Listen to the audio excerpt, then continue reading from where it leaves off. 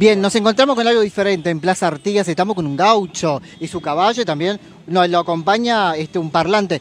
¿De dónde viene usted? Buenos días.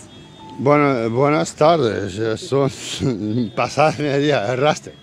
Paga, paga la Bueno, decimos, larga, dale. Estamos con una nota diferente justamente aquí en Plaza Artigas con un gaucho, su caballo y también lo acompaña un parlante. Buenas tardes. Buenas tardes, ahora sí. Este yo vengo de, de Alegrete. ¿Cómo se llama usted? Carballo. Y Ah, bien gaucho. Eh, gaucho, hermano. ¿Tomó esa decisión de venir a buscar alguna prenda acá en Rivera, acá en el centro, que se encuentra en Plaza Artigas? Sí, sí, sí. Ahí empecé a genetear, yo geneteo siempre de gurino. Y ahí conocí una chacra de factura ahí. Conocí a mi esposa ahí, hace 10 años estoy con ella. Tengo tres hijos, gracias una hermosa, una hermosa. Tengo buena casa, gracias a Dios. Disfruto la vida, que mejor como un churrasco. eh.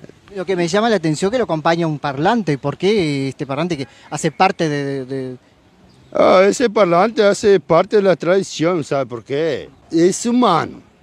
Compré para andar a caballo, me encanta. ¿Qué, qué escucha, Bar? Yo escucho que me piden la gente, me sacan fotos y todo. Che, poner bandido, poner baitaga, poner mano lima, todo.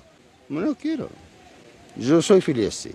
¿Y por qué esa decisión de venir a caballo hasta acá, Rivera? Porque mi mujer me cagó, me engañó. Te engañó. No tengo mentira, voy a mentir. No, yo pasé cuatro días, dormí en los puentes.